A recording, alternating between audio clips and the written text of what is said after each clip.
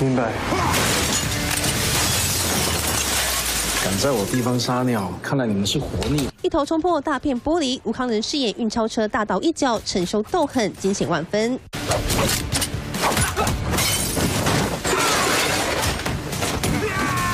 电影《狂徒》前导预告曝光，耗资了六千万打造，找来金钟影帝吴康仁以及最佳男主角演员林哲喜携手演出。只特训三个月就正式开录，还一度打到头破血流，终止拍摄。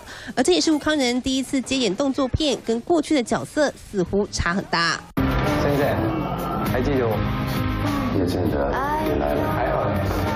麻醉风暴中，吴康仁饰演保险业务，寻找病患的死亡真相，进而揭发一连串的白色巨塔黑幕。演技细腻，层次分明。二零一六年，在凭着一把青获得第五十一届金钟戏剧节目男主角奖。你不可以越权调查，你为什么还留着照片？我们可以合作，就像以前那样。像以前那样。不止动作片，近期还有另一部悬疑片也要上档。吴康仁大荧幕作品接连上，精湛的演技想必再度引发话题。三立新闻综合报道。